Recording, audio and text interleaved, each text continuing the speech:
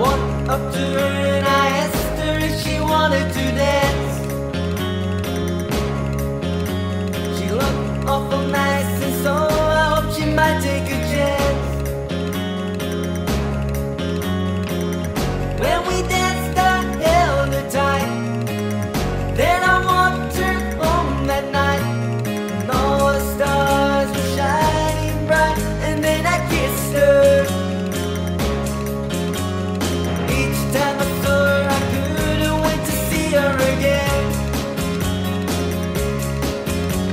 I wanted to